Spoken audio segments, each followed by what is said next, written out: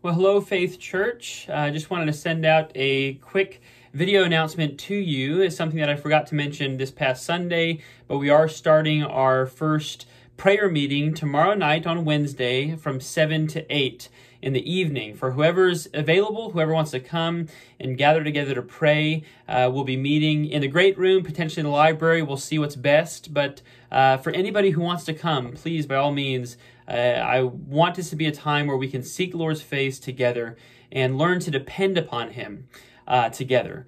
And along those lines, I just wanted to share something from a book on congregational prayer. It's called Prayer How Praying Together Shapes the Church. Uh, and in this book, the author talks about the importance of praying together uh, quite a bit. And in one particular chapter, he was talking about it uh, along these lines.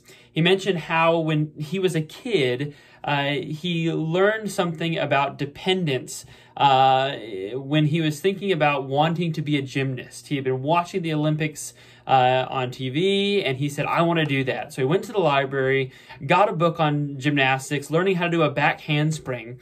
And in the process of learning about it, he said, I'm going to do it now. And so he went to try to do a back handspring after learning about it, after reading about it, and then come to find out uh, he couldn't do it. Um, because what he said is he didn't learn how to depend upon his hands in the back handspring uh, just by reading about how to do it. He had to practice.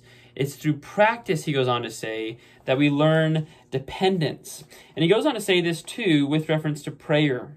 He said, Dependence isn't gained by learning, but by leaning. Just as I couldn't learn how to do a backflip by reading books, you can't teach a church to depend on God by teaching alone.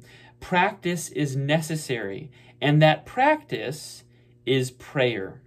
We learn dependence by leaning on God together. And that's really what I want this time to be for us to learn increasingly to grow in our dependence upon God by seeking His face in prayer together. And so we'll talk week by week uh, a little bit more about prayer, about what it means to pray, about how to pray, but we'll also just talk about God a little bit for a few minutes at the beginning, uh, learning some things together just briefly. And then we'll just spend, oh, 30, 45 minutes together seeking the Lord's face in prayer, uh, taking some prayer requests, and uh, just growing in our dependence upon our God together. So I look forward to it forever. Whoever can come, by all means, uh, please come out from 7 to 8 tomorrow night.